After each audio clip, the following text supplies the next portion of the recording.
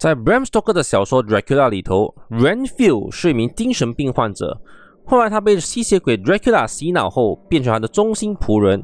由于 Dracula 需要大量鲜血，而 Renfield 就替他捕捉猎物。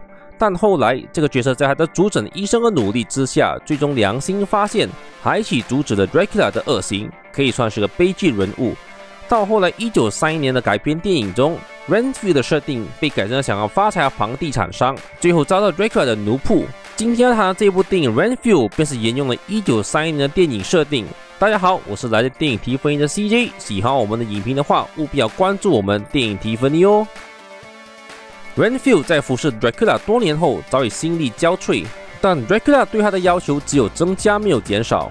让他越来越厌倦他们之间的奴仆关系。Rebecca 则是一名警察，为了给爸爸报仇，多年以来他都一心一意寻找证据来摧毁害死他爸爸的犯罪家族。而为了让他消失，家族派出了继承人来把他杀掉。这一幕正好被为 Dracula 寻找食物的 Renfield 给碰上了。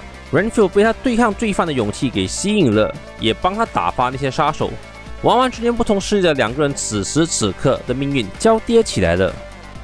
如果不是 Universal Pictures 的新版的《Mummy》遭遇失败的话，我们应该不太可能会看到 Renfi 的诞生。原先的怪兽宇宙本来就是一蹶不振，但2020年 Invisible Man 票房得利，Universal Pictures 才会改变策略，推出旗下怪物的单独电影。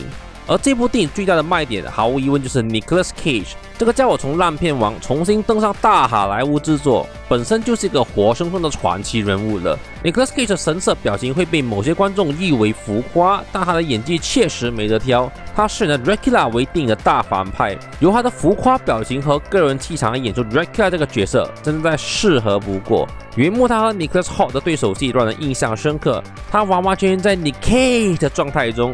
找到这个角色好像为他量身定做似。即使这一部是属于 Nicholas Hoult 主演的电影，但我看完以后，我只记得 Nicholas Cage。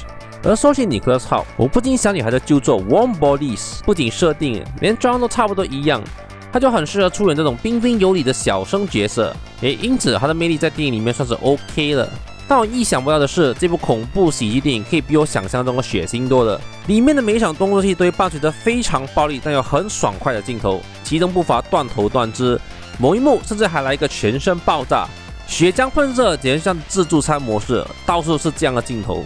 但由于动作场面设计的还蛮夸张的，这些镜头也就突破暴力层面，变成了很滑稽的画面。我在看的时候，我就不停的在想，What the？F 我到底看了什么？还有剧本的部分，这也是我觉得一个非常奇妙的地方。你看，一边是一个关于吸血鬼的故事，而另一边则是一个黑帮复仇戏码，看起来完全没有关联的两个故事。编剧竟然想出办法把两个剧本给缝起来了，并且大部分剧情其实都算合情合理，但是有些镜头你还是能看出来它的转场特别生硬，而且感觉本片并没有说完 Renfield 以及 Rebecca 两个人的故事，缺乏某一些感情上的结局，感觉上就好像许多片段被留在了剪片房。有一幕极为突兀的是，Dracula 第一次碰面黑帮老大的时候。电影马上转下一个镜头，而黑帮老大就笑嘻嘻的招呼 Dracula：“ 你难道没有发觉你面前是一个吸人血的怪物吗？怪物嘞，你不是应该怕的吗？”就是这种地方让我觉得电影被捡走了许多部分。不过全片来看，这依然是一部娱乐性十足的恐怖喜剧。那么今天电影讨论在这里结束，希望和我们多讨论电影的话，记得一定要关注我们哦。